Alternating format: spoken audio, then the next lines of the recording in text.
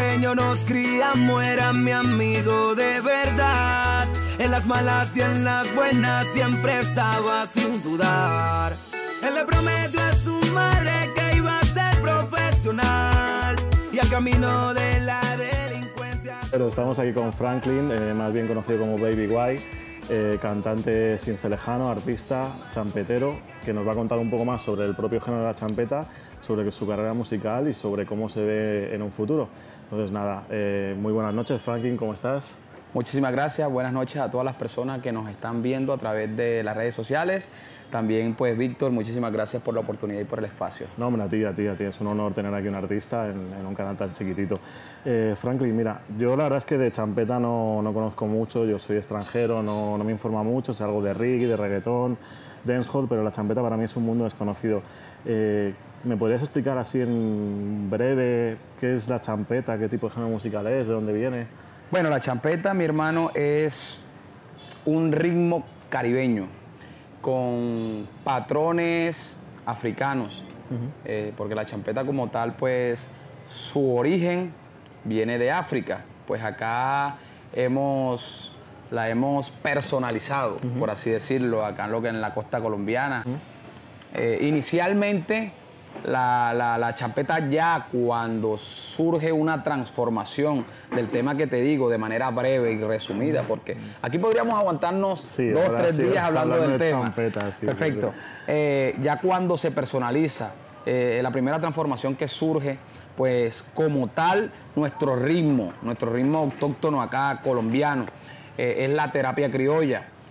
Pues para ese entonces, los primeros promotores, los primeros intérpretes, productores de champeta, como tal, ellos tomaron como patrones eh, esos, esos géneros de, de africanos, eh, que, que son varios, entre otras cosas, que nosotros desconocíamos y nosotros le colocamos eh, champeta, pues para el momento, pues los que tuvieron la iniciativa Sí, de, ese nombre, de titularlo de esa manera. Pero realmente estos géneros en África tienen otros nombres como tal y son varios entre otras cosas. Pero nosotros por el tema de la guitarra, por el tema este, de la conga y de muchos otros instrumentos, pues nos- exacto, nosotros pues ya eh, eh, nos familiarizamos con, con- con estos patrones musicales y pues a eso venían de África champeta, que en, en su momento le, este, por eso es que muchas personas le llaman champeta africana. Que entre otras cosas, pues hay, hay ciertas diferencias aquí mismo dentro del país eh, entre el concepto cartagenero y el concepto barranquillero. Correcto. Bueno, la primera transformación, volviendo a lo mismo, y, y no quiero que se me confundan pues todas las personas que nos están No, no te escuchando y viendo, no te preocupes. eh, este, es la terapia criolla en, en Cartagena. Eh, ellos inician esto haciendo eh, similitud de fonogramas de esas canciones que venían del África. Pues que como similitud, eh, ellos venían y estos fonemas, ellos eh, los escuchaban y acá los reemplazaban con letras en español. Y letras propias de lo que es la costa colombiana. Exacto, letras. Pero ojo, el fonograma era el mismo de la canción auténtica la base africana musical era la que venía de África, pero le cambiaban lo que era la le cambia la letra, Ajá. porque bueno, estaba en otro idioma Claro. y frente al público empezaba a correr estas canciones, pero que realmente, y bueno, que para ese entonces, entre otras cosas, no existía pues la facilidad de estos medios tecnológicos como las plataformas sociales, eh, que ahora han facilitado mucho. Ahora, pues el universo entero está conectado y, y conocemos muchas culturas Sí, distintas a las nuestras, mundo, sí. porque el internet pues nos ha facilitado esto. Pero para ese entonces pues, el público eh, consumía esta música y no se daba cuenta o no se percataba de que eran, bueno, no, no podríamos decir plagios. Sí, pero, eran, eran pero, pero- homenajes a una música que ya existía, por así decirlo. Exacto, por así decirlo, por así Claro. decirlo. Eh, Exacto, siglo XX, para como- allá iba. Pero ya el tema de, de- de- de la terapia criolla como tal, yo diría acá que a eso de los años, finales de los años 70, 80, 80 más o menos. eh, más o menos inicia todo este proceso pues de la terapia criolla como tal. O sea que sí que la champeta sí que es un ritmo propiamente de la costa caribeña colombiana, la champeta colombiana. O sea, es en esta zona de aquí lo que se hace, ¿no? Claro, exacto. Propiamente, como te dije anteriormente, la champeta este, se inicia este, su producción o quienes este, tuvieron esa iniciativa es eh, en Cartagena. Correcto, En correcto. Cartagena, por eso na- Cartagena como tal es el núcleo en el país de la producción. No, lo que me llama la atención porque yo como extranjero cuando, cuando escucho lo que es la música actual caribe, pues suele ser reggaetón, eh, reggae, lo más, lo más típico que se escucha, pero tú le hablas a la gente de champeta y no, no sabe lo que es la champeta.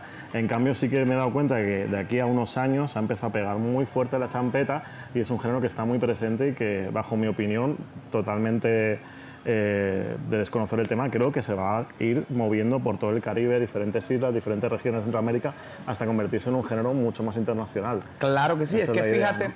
fíjate que, eh, por así decirlo, todos estos géneros eh, o los géneros que- que- que- que han nacido de zonas populares, de la popularidad, de- de- del barrio, de muy abajo, han sufrido esa- esta serie de, de- de- de- de metamorfosis, de, de evolución como tal, y eso ha pasado con la champeta. Ahora ves que has- ha tenido mayor aceptación, de que ha escalado mayor posición y, y- y- y la ves con más oportunidades. Se ha vuelto más comercial, Eso, más audible, pero más lugares. Pero ha sido por eso. Fíjate que inicialmente cuando, todo está sometido a un proceso. La vida misma, entre otras cosas.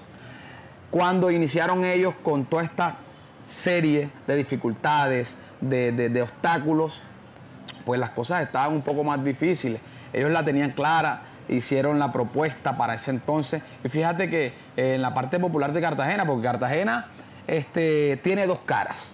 La Cartagena bonita, la Cartagena de clase alta, Sí, la turística, la la que- turística, la que ve el la que, ve mundo, la que ve el de Sí. afuera, el que viene, bacano, se van con una imagen. Pero Cartagena tiene una zona popular que, que- que no es tan vista por el mundo, entre otras cosas. Y esa zona es la que ha construido el cimiento de la champeta. Claro. Este, bueno, sí, la champeta ahora, a medida que también ha, ha- ha crecido, en su momento, pues también se podría decir que los exponentes no eran formados, sino eran empíricos. Pues el talento Un poco como el rap o como el hip hop en Nueva York, ¿no? O sea, gente que salió a cantar sus experiencias, ¿no? A contar su... Bueno, sí, fíjate que así, la, ¿no? que, que la champeta en su momento las letras eran más este, de vivencias, eso, exacto. era más de vivencia. Eh, entonces, eso, eran más empíricos lo- lo- los artistas, los cantantes, los expositores de la champeta, pero a medida que han transcurrido los años, eh, ya los artistas se han formado más, ya han trabajado las producciones de una forma más proyectada, más profesional. Eh, han hecho la tarea, han hecho la diligencia en la industria de la música como tal, ya no hablando de un género establecido, sino en la industria de la música, cómo se hace, cómo se trabaja para promover, para este, comercializar un producto. Eh, los artistas, ahora también el tema de las redes sociales, que también ha sido este, algo muy determinante para, para todo lo que es este. Sí, exponer el eh, propio género de una manera mucho más fácil que... Sí, y fíjate que no nada, eh, ya, ya eso es un factor para el mundo este, eh, en cuanto a desarrollo, pero a la champeta le ha servido muchísimo. Entonces, fíjate que todos estos factores y también, como te dije, artistas que están en este momento en el top del género, pues vienen haciendo la diligencia. Por eso te dije que todo ha, somet- ha- ha sido sometido a un proceso. Los que iniciaron tuvieron una tarea dura de mantener, de ser el muro, mu- muro de contención para llevar el género hasta aquí. Y fíjate que ellos en su momento hicieron la labor con poca, con poca formación y con poca visión, pero lo hicieron. Y aquí en Colombia pues hay muchos artistas como lo este, fueron el difunto, que Dios lo tenga en su, eh, que lo tenga eh, en su reino, eh, el afinadito, este, también el Saiyajin, Saiyajin, sí, he eh, escuchado. Yonki, este, pues también artistas como en la actualidad que, que- que aún están vigentes, que aún están vivos, y mis respetos para ellos, como lo son el maestro Viviano Torres, Luis Tower, eh, este, Charles King, eh, Mr. Black, que ahorita mismo es top y, y viene también de, de esa guerra, de esa lucha. Pues toda esta gente, toda esta gente hicieron ese cimiento, hicieron el puente, hicieron el puente. Ahora pues con toda la, la- la- la- la serie de alternativas que hay eh, para la comercialización, de la, comercialización de- de- del género, pues eh, las cosas se han facilitado y el mundo aún falta conocer muchísimo de este ritmo, pero, pero este, ya se ha creado una expectativa y ya en la región Caribe, y bueno, por los que están ahorita mismo llevando la, la, batuta, por así decirlo, del género, como lo son eh, Mr. Black, como lo es Kevin Flores, como lo es Twister, ya ellos han llevado la champeta internacionalmente. Sí, lo fuera de las fronteras de Colombia la están llevando por otras partes ya, del mundo. Ya, ya nos falta poco, entre otras cosas. Ya nos falta poco para consagrarnos. vamos, en búsqueda de eso. Yo creo que es un género que tiene mucho futuro, es un género actual, es una música muy bailable, con letras actuales, o sea, no creo que tenga nada que envidiarle a ningún género como puedan ser el reggaetón. Antes, cuando me estabas hablando de la champeta, eh, me has comentado los picos y me gustaría saber qué es un picó y qué, qué, rol juegan dentro de lo que es la cultura champetera. Sí, claro. Este, bueno, Víctor, el pick-up es un sistema de audio sound system, como tú lo dijiste anteriormente, pues pues súper grande, inmenso, que estos se encargan de impulsar el contenido de la champeta, las canciones, los artistas. Se podría decir que este es el primer filtro. Entre otras cosas, ese es un punto pues muy este, relevante cuando se habla de champeta. Porque fíjate que la champeta tiene particularidades. La champeta es un género ritmo, bueno, porque en otra entrevista hablábamos de, de, los diferentes tipos eh, de champeta. No, no, no, y, de lo que se puede considerar este, la champeta ritmo género, porque ese también es una controversia inmensa que hay dentro del género, pero, pero como te dije, esto tiene mucha tela por cortar. Y entonces vamos puntualmente a lo que estamos. Eh, el pick-up es pues algo muy relevante dentro del género, porque fíjate, dentro de la champeta, dentro de la champeta, porque es el primer filtro que tenemos nosotros los artistas para eh, exponer nuestras canciones. Es allí donde nosotros medimos, es el termómetro de nosotros. Pero para que la gente se haga una idea, que es como una discoteca ambulante, un espectáculo de discoteca. Eso, eso, eso, Que creo que, si no me equivoco, se caracteriza por tener una cantidad ingente de, altavoces, ¿no? De parlantes, como decís acá. Eso. Ya tú lo dijiste de manera acertada y concreta. El pick-up es eso, es una, es, una emisora o es una discoteca ambulante en la cual este, se, se, promocionan canciones este, de champeta, de artistas champeta. Eh, cada pick-up, cada marca este, promociona contenido distinto, contenido exclusivo. Y la gente va a ver ese pick-up porque esos artistas van a ese pick-up. A ese pick-up. O se promociona ese... Cada, cada pick-up tiene sus seguidores. Como un equipo como los DJs en las discotecas. Como un equipo de fútbol. Este, el Real Madrid tiene su, su, fanaticada, el Barcelona tiene su fanaticada, tú que pues eres español. Este, entonces, eh, por lo menos en este caso, los altos pick-up este, relevantes son Rey de Rocha, Imperio, RS eh, por así decirlo, y, otra serie de, movimientos y también pick-up, pero son muchísimos. Entonces. Eso sería como la primera división de, la champeta y los pick ¿no? Por así decirlo. Quien llega al imperio llega al, al culmen a la primera división, ¿no? Por así decirlo. Sí, Imperio Rey. Imperio Rey. Imperio Rey, vamos a decir, como sería, para una idea. Exacto, Imperio Rey. Entonces, eso, esa es una de las particularidades de este género. Ahora, nosotros los cantantes ya cuando le grabamos a uno de estos sellos, ellos toman el producto eh, por determinado tiempo, que en ese momento solo pueden sonarlo ellos. Eso, esto se llama exclusividad. Bueno, tú sabes. Correcto. exclusividad. Entonces, es ahí cuando nosotros los cantantes medimos más o menos, este es un filtro, un termómetro, de acuerdo a la aceptación que la canción tenga en el pick-up, ya decidimos posteriormente Producirla invertirle y, y trabajarla ya en los, en los medios como tal, sea radio, sea televisión. Sí, hacer una producción un poco más, más Excepto comercializarla como tal. ¿Empezaste en el género de la champeta?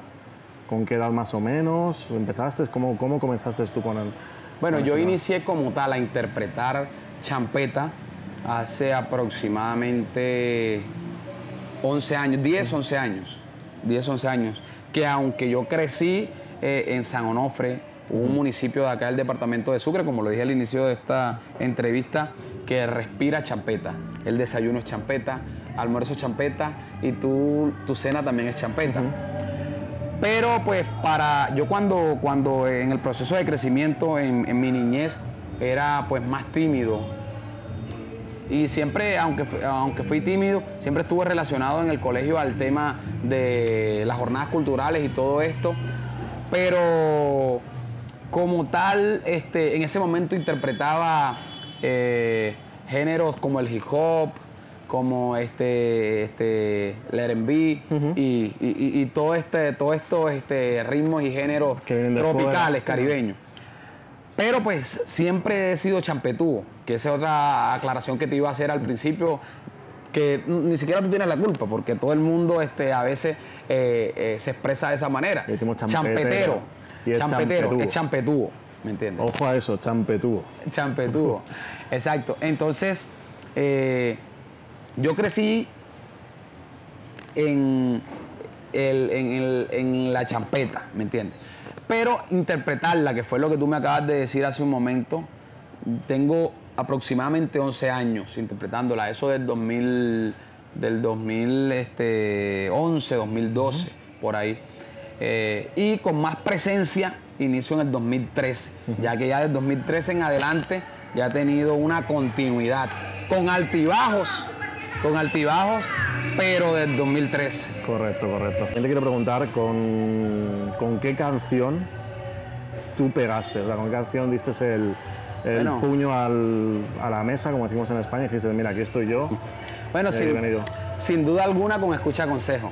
Esa es una canción que, por más que, que quizás no, no, no, no, no la nombre, este, siempre pues esa es mi carta de presentación, donde yo voy esa canción tengo que cantarla sí o sí. ¿Me entiendes? Es una canción que, pues gracias a Dios, se convirtió en un clásico de la champeta. Y, como lo dije, gracias a Dios porque eh, nosotros nos enveramos tanto en hacer música y en que la música quede. Eh, y en la actualidad muchas veces se produce y son canciones que suenan de momento y tú la escuchas nuevamente dentro de dos, tres años y y, no, la, no sientes el mismo impacto, ¿me entiendes? correcto. Entra en desuso. Pero pues escucha consejo, con escucha consejo ha pasado todo lo contrario. Es una canción que, aunque ya tiene, cumplió del 2003, cumplió ocho años esa canción. Y se sigue escuchando como el primer día, eh, incluso los views en las plataformas digitales suben y suben y pues ha sido mi canción más representativa. Y la sigues exponiendo y cantando cuando, cuando, cuando actúas. Como, como te digo, este, y presentación de Baby Guay, este, que se dé. O sea, es una obligación cantar Escucha Consejo. es una obligación. Es una obligación porque lo exige el público. Atentos a la canción, para la gente que conozca la champeta y no conozca a Baby Guay Escucha, ¿cómo has dicho? Escucha Consejo. Escucha Consejo, buscarla en YouTube y la vas a encontrar y la podéis disfrutar. Yo ya lo he hecho y la verdad es que merece la pena. Eh, bueno, también te voy a comentar, eh, ya para finalizar, es una pregunta que hago, que hago a las personas que entrevisto. Eh, ¿Cómo te ves de aquí a cinco años artísticamente? ¿Cuáles son tus planes? ¿Cuáles son tus proyecciones? Bueno, este, de aquí a cinco años, pues visiono un Baby White con mayor madurez, con este, un equipo de producción, un estudio en el cual pueda eh, brindarle ese apoyo a las generaciones salientes, que entre otras cosas ya iniciamos con, con, ese propósito, ya lideramos aquí, eh, constituimos un movimiento musical que se llama La Sensación Music, al lado de DJ Joel, mi hermano, mi pana, y el propósito es ese, eh, ser un medio para que las generaciones salientes pues tengan quizás más fácil la oportunidad de mostrarse, de mostrar su música. Obviamente un Baby White más consolidado, eh, de, por lo menos de forma nacional, de manera nacional, de aquí a cinco años, pero eh, con, con la plataforma en cuanto a producción, un estudio más específicamente hablando, para que las generaciones salientes pues puedan este, avanzar. O sea, tú, champetúo, de aquí a cinco años, sí, mismo género musical, dándole duro a eso, ¿no? Dándole duro a eso, pero con mayor consolidez, ¿me entiendes? Consolidado y que ya pues nacionalmente se sepa de Baby White. Porque hasta el momento, aunque tenemos algunos contenidos musicales que han trascendido, que han cruzado fronteras. Siento en lo particular que todavía no estamos consolidados nacionalmente. Claro. Todavía más, más, más tenemos presencia acá en la región Caribe y pues sobre todo en el departamento No, y, y- en, los depart- en los departamentos alrededores. No, llegaréis, llegaréis seguro porque este género ha venido, para, ha venido hace mucho tiempo y ha venido para quedarse y para ir mucho más lejos. Oye, pues eh, muchísimas gracias, Franklin, muchísimas gracias de verdad por esta entrevista, por haberme hecho aprender más de la champeta. Te propongo hacer una segunda parte más adelante para seguir hablando de este tema, seguir hablando de la agrupación musical que has montado, que has formado, de los varios artistas de Cincelejo, porque la verdad es que es un género que me apasiona, que me gusta. Incluso también aquí lo dejo, si él se le mide, ir a, ir a ver cómo graban un tema, ir a ver cómo componen. No, es más, te invito. Te invito este, y vamos a hacer eh, el, el acompañamiento a todo lo que es este, esta dinámica. Esta No, no, dinámica. Sí, sí, no, te digo, porque es que me interesa mucho y yo encantado de que me des la oportunidad de, de vivir esta experiencia. Tranquilo, mi hermano, y pues también te vamos a invitar por allá al Templo de la Champeta, Estadero el Pescador, que es pues una, ya ese sí es una, una discoteca popular que, que tenemos con el campeón Álvaro Gómez, eh, con otros socios más. Bueno, tú tuviste la oportunidad Sí, sí, de, sí, de sí, ir el eh, día, eh, el fin de semana anterior para, para que aprendas a, llevar a, a bailar champeta. ¿Tú sabes bailar champeta? No tengo ni idea de la champeta, pero me comprometo a aprender.